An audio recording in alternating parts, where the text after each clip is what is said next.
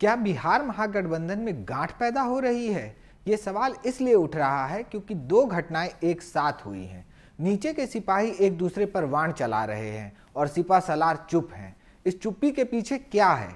वो बोलकर मामले को बढ़ाना नहीं चाहते या फिर चुप रहकर अपने सिपाहियों को शह दे रहे हैं? हाजिर है आपका बिहारी पत्रकार, नाम है मोहन कुमार। इन्ने उन्ने का नहीं, यहाँ होगा ओनली बिहार। आगे बढ़ने से पहले एक अपील। अगर आप आरोप प्रत्यारोप से परे, ठोस विमर्श वाली खबरें और वीडियो देखना चाहते हैं तो क्विंट का मेंबर बनिए।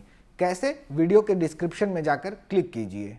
पहले जरा बिहार के शिक्षा मंत्री चंद्रशेखर के उस बयान को सुन लीजिए, जिस पर हंगामा बरपा है।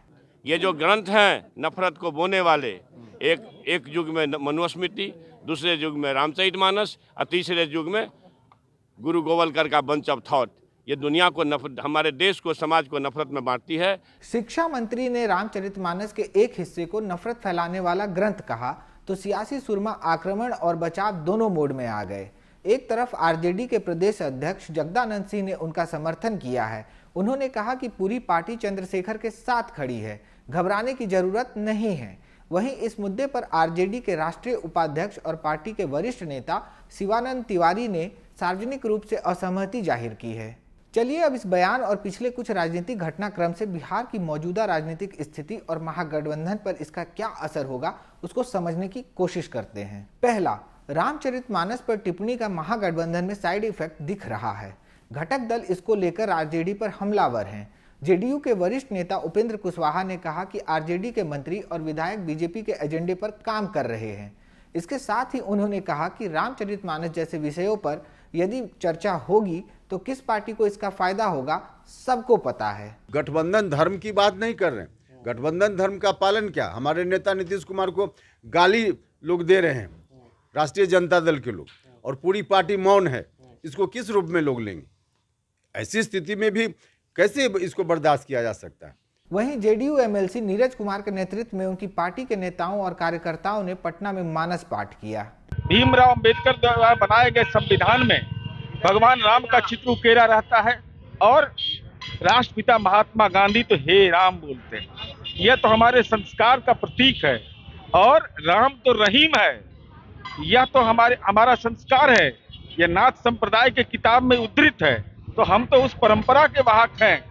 जहाँ रामायण का भी सम्मान होता है कुरान शरीफ का भी सम्मान होता है बाइबिल का भी सम्मान लेकिन आपके शिक्षा मंत्री तो कांग्रेस भी चंद्रशेखर के बयान पर सवाल उठा चुकी है। महत्वपूर्ण पदों पर बैठे लोगों को बहुत सोच समझकर संयमित तरीके से कोई भी बयान जारी करना चाहिए।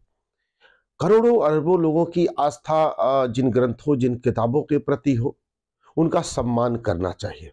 इन बयानों का महागठबंधन पर क्या असर होगा? इस सवाल के जवाब में वरिष्ठ पत्रकार प्रवीण बागी कहते हैं कि गठबंधन पर इसका बिल्कुल असर पड़ेगा और यह दिख भी रहा है। जिस तरह से जेडीयू ने इसका मजबूती से विरोध किया है, इससे साफ़ है कि जेडीयू शिक्षा मंत्री के बयान से सहमत नहीं है। जेडीयू को लग रहा है कि इससे पूरे महागठबंधन की इमेज खराब हो रही है और खास करके नीतीश कुमार की छवि को भी चोट पहुंचेगी। दूसरा, तेजस्वी की चुप्पी। ये पहला मामला नहीं है जब आरजेडी के किसी विधायक के बयान पर तेजस्वी ने चुप्पी साधी हो। सुधाकर सिंह मामले को लेकर भले ही तेजस्वी ने इशारों इशारों में चेतावनी दी थी, लेकिन जेडीयू के विरोध के बाद भी कोई कार्रवाई नहीं हुई। वहीं इस मामले में भी वो खामोश हैं। इस पर वरिष्ठ पत्रकार प्रवीण बागी कहते हैं कि ये सब सोची समझी रणनीति के तहत हो सकता है। जिस तरह से आरजेडी नेतृत्व खामोश है, इससे लग रहा है कि इसके पीछे कुछ योजना चल रही है। तीसरा, कैबिनेट से आरजेडी के दो मंत्रियों की छुट्टी। महागठबंधन सरकार के गठन के बाद से आरजेडी के दो मंत्रियों को इस्तीफा देना पड़ा है। बिहार में 10 अगस्त 2022 को महागठबंधन सरकार बनी थी। ठीक 22 दिन बाद ही कार्तिकेय सिंह ने इस्तीफा दे दिया था। इसके बाद सुधाकर सिंह ने मंत्री पद से इस्तीफा दिया। उन्होंने भ्रष्टाचार को लेकर अपनी ही सरकार के खिलाफ मोर्चा खोल दिया था। वरिष्ठ पत्रकार रवि उपाध्याय कहते हैं कि महागठबंधन सरकार बनने के बाद से आरजेडी से दो विकेट गिर चुके हैं। तीसरा विकेट गिरने की कगार पर है। वरिष्ठ पत्रकार प्रवीण बागी कहते हैं कि अगर आरजेडी ने इस मुद्दे पर तुरंत कोई पहल नहीं की तो मामला बहुत गंभीर हो सकता है। ये भी हो सकता है कि मुख्यमंत्री एक तरफा कार्रवाई करते हुए चंद्रशेखर को मंत्रिमंडल से बाहर कर दें। इससे दोनों दलों में और दरार बढ़ेगी। चौथा, समाधान यात्रा से घटक दलों की दूरी। नीतीश कुमार बिहार में समाधान यात्रा निकाल रहे हैं, लेकिन इसमें भी सहयोगी दलों की सहभागिता न के बराबर दिख रही है। इसे भी महागठबंधन में मन मुटाव की तरह देखा जा रहा है। वरिष्ठ पत्रकार रवि उपाध्याय कहते हैं कि ये सिर्फ़ नीतीश कुमार और उनकी पार्टी की समाधान यात्रा बनकर रह गई है। बेशक वो कह रहे हैं कि ये सरकारी यात्रा है, फिर तो सरकारी यात्रा में कैबिनेट के अन्य सहयोगियों को भी होना चाहिए। पांचवा, महागठबंधन सरकार बनने के बाद से नीतीश कुमार बैकफुट पर नज़र आ रहे हैं। वो लगातार आलोचकों के निशाने पर हैं। छपरा शराब कांड के बाद बक्सर में किसानों का मुद्दा, बीएसएससी पेपर लीक और फिर अभ्यर्थियों पर लाठीचार्ज। इन मुद्दों पर नीतीश कुमार को भारी विरोध का सामना करना पड़ा है, लेकिन नीतीश कुमार के पास इन सब का कोई जवाब नहीं है। जानकार मानते हैं कि इसकी सबसे बड़ी वजह है विधानसभा में संख्या बल के हिसाब से जेडीयू का कमज़ोर होना। प्रदेश में नीतीश की पार्टी तीसरे नंबर पर है। वहीं दूसरी वजह है राष्ट्रीय स्तर पर नाकामी। नीतीश 2024 लोकसभा चुनाव से पहले बीजेपी के खिलाफ विपक्षी नेताओं को एकजुट करने का प्लान बना रहे थे, लेकिन उस दिशा में अभी तक कुछ खास नहीं हुआ है। ये तो हो गई महागठबंधन की बात। अब जरा आपको बता दें कि मुख्य विपक्षी दल बीजेपी क्या कर रही है। उसे तो बैठे बिठाए सरकार को घेरने का एक बड़ा मुद्दा मिल गया है। बीजेपी एक तरफ़ चंद्रशेखर के इस्तीफे की मांग कर रही है तो दूसरी तरफ़ नीतीश पर भी निशाना साध रही है। पीसी की धारा दो एक के तहत इन पर मुकदमा चलना चाहिए।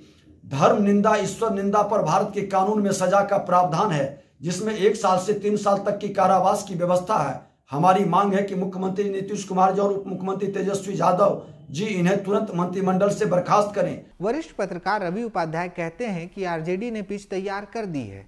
अब भारतीय जनता पार्टी को तय करना है कि वो इसे कैसे कैश करती है और इस मुद्दे पर किस तरह से बैटिंग करती है। बिहार में कावा कार्यक्रम में इस हफ़्ते बस इतना ही। वीडियो आपको अच्छा लगा तो चैनल को सब्सक्राइब कीजिए और नए वीडियो की तुरंत जानकारी के लिए घंटी बजाइए।